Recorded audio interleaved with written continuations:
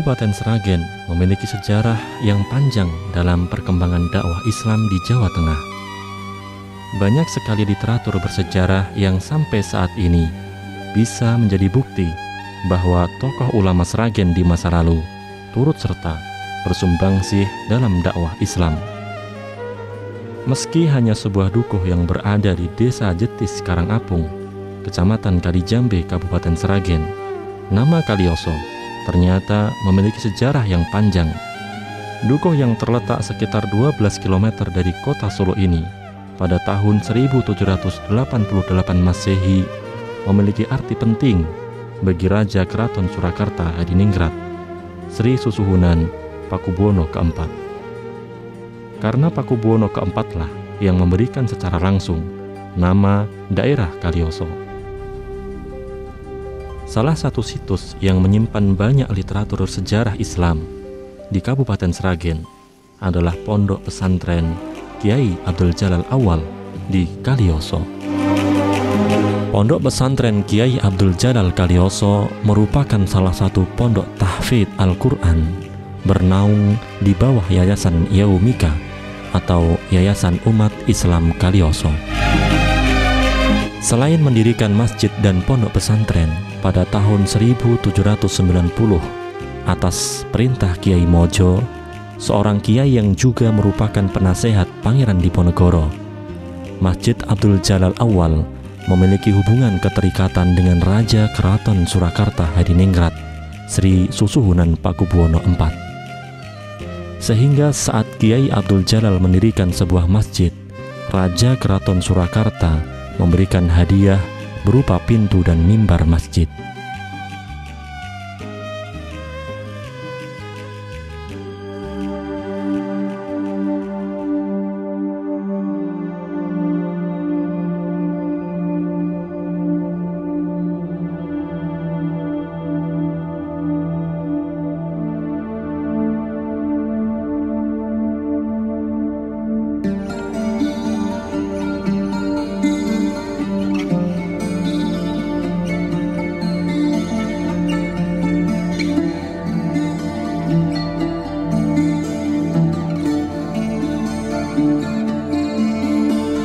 Masyarakat sekitar pondok pesantren dan masjid Kiai Abdul Jalal secara turun-temurun terus memakmurkan keberadaan dua tempat tersebut dengan berbagai kegiatan yang positif dan bermanfaat. Dengan demikian, nilai-nilai dakwah Islam sampai saat ini masih terasa. Ya, pemirsa MTA TV di mana pun Anda berada, kali ini saya berada di area Masjid Jami Kiai Abdul Jalal Awal di Kabupaten Seragen, tepatnya di Kecamatan Kalijambe. Dan untuk mengetahui profil atau informasi lebih lanjut tentang masjid ini, saya sudah janjian sama salah seorang takmir di sini, yaitu Pak Dwi, dan kita akan uh, langsung menggali tentang informasi mengenai masjid ini bersama beliau. Ikuti saya.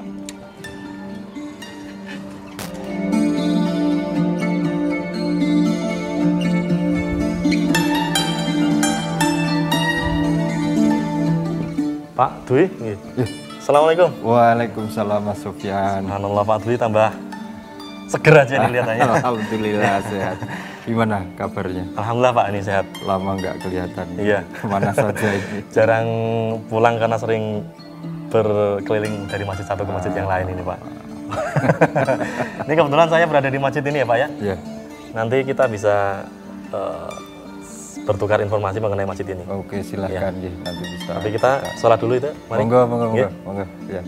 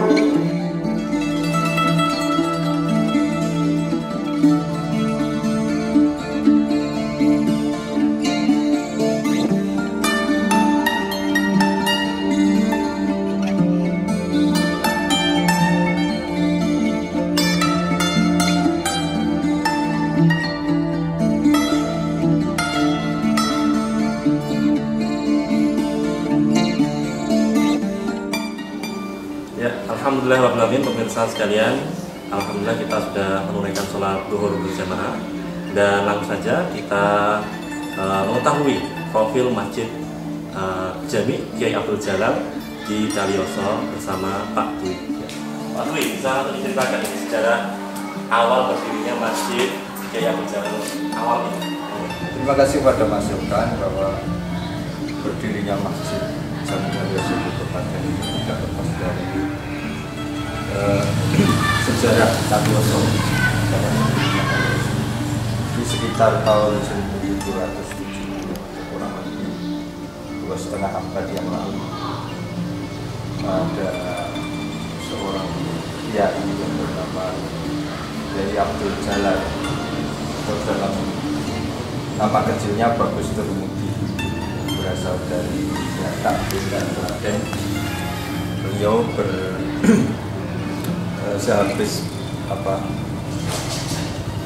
nyantri atau menjadi santri dari Surabaya kemudian ke Semarang terakhir di Banderan eh, Tegal Gondo atau sebelah barat Tegal Gondo Kelantan itu kemudian beliau disuruh oleh gurunya Yai Mojo yang sebagai penasihat pangeran untuk mendirikan sebuah padepokan atau pondok pesantren di daerah utara Surakarta. Di sinilah tempat yang dirasa cocok untuk menyebarkan siar agama. Beliau bersama rombongan berhasil mendirikan sebuah suro atau lembaga dan mengembangkan pondok pesantren sehingga berkembanglah masjid ini sekitar tahun 1770 dan kita nanti bisa lihat hasil dari hutan yang dijadikan masjid kayak bangunan-bangunan ini kemudian yang di dalam itu masih kayu utuh yang dibuat untuk sokong guru dan yang yang lain Berarti setelahnya Kiai Abdul Jalal atau nama kecilnya Bagus Termudi tadi ya Pak ya? Itu yang dapat alas di sini gitu ya? Iya, dapat alas di sini. Dan juga surau untuk menyebarkan siar agama yang diamanahkan oleh gurunya Kiai Mansur. Dan ini Pak, saya membaca bahwa katanya masjid ini itu hadiah dari Paku Buwono IV itu bagaimana ceritanya? Ya, masjid ini diberi hadiah pintu Pintu masjid dan mimbar yang ada di dalam kita bisa. Itu sejarahnya eh, kenapa di sini juga ada eh, sejarah dengan keraton Surakarta. Karena juga memang kalau diurutkan ke atas leluhur Kalioso ini ada kaitannya dengan Timon Doroto atau eh, Ki Juru Mertani. Ki Juru Mertani itu saudaranya Ki Juru Mertani itu mendapat atau diperistri oleh panembahan eh, oleh Ki Ageng Pemanan yang turun temurunnya nanti keraton Jogja dan Solo atau Solo dan Jogja. Jadi sebenarnya masih ada hubungan kerabat kalau diurutkan ke atas. Seperti kalau masih apa, masih saudara ibe atau masih ipar itu kalau diurutkan. Dan Mertani sendiri juga kalau dilihat memegang tampuk pemerintahan Patih itu dari mulai Panembahan Senopati sampai ke beberapa periode setelah eh, Panembahan Senopati jadi sampai ke Pakubono berapa itu jadi itu sejarahnya seperti itu. Untuk bangunan kita kan sekarang berada ya, Serambi yang berjalan. Ini saya lihat tiang-tiangnya masih terlihat kokoh dan kayu-kayu juga lainnya kuno sekali. Nah, ini sudah mengalami berapa kali renovasi untuk tiang-tiang sendiri di Serambi ini? saya melihat eh, renovasi yang pernah saya alami ya. saya baru di tahun 67 ini direnovasi tahun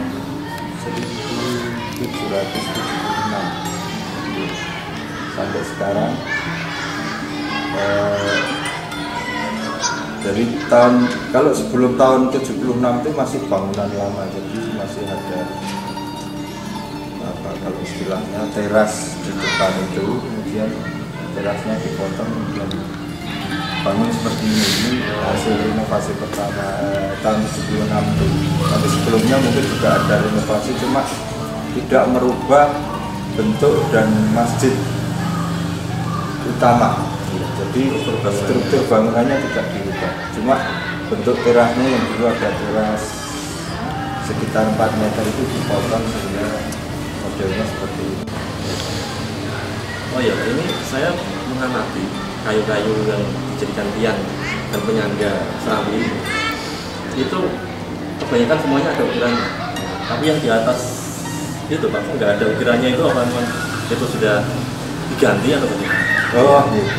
ini yang setelah renovasi ya tahun 76 itu 1996 itu ada tambahan tumpang sari biar masjid tidak begitu biar biar kelihatan agak tinggi sedikit sehingga ditambah tumpang sari dua dua dua kayu tumpang kayu ini sudah sudah bangunan susulan tapi kalau yang di bawah ini masih murni bangunan asli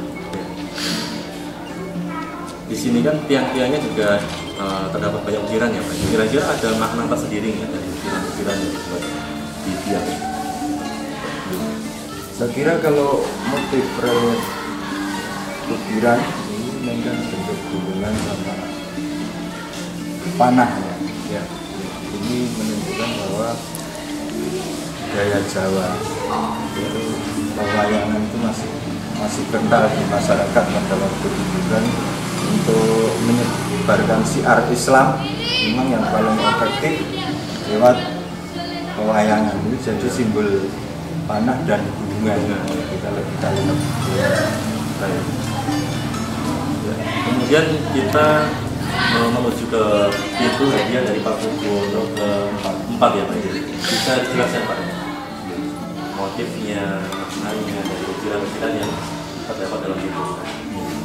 kalau ukiran dan makna dari ukiran ini kan sampai sekarang takmir sendiri masih masih apa masih mencari-cari. Jadi motif ini memang memang asli dari keraton dan dulu Mbak Kiai Jalal tinggal menerima pintu ini sama mimbar plus pusaka-pusaka yang dari keraton. Jadi pusat-pusatnya masih ada ini. masih ada sebagian ada di dalam nanti ya. Yang pusaka Kiai Rondo. Kiai Rondo. tombak bentuknya masih ada di situ. Dan yang lain sudah tidak ada. Ya. Dan untuk kaligrafinya ini tambahan atau memang hadiah juga Pak? ini sudah tambahan. Jadi setelah renovasi tahun 76 itu ada tambahan kaligrafi atas pintu kalau dulu cuma kayu biasa jadi dicampur kaligrafi. Ini sudah model sekarang. Ya, baru baru. Baik Pak, kita mulai masuk ke ruang utama untuk menggali lebih jauh eh, bagaimana struktur bangunan, tiang dan mimbar yang tadi juga dia dari Pak Purwono keempat. Kita masuk ke ruang utama ya. Mari Pak.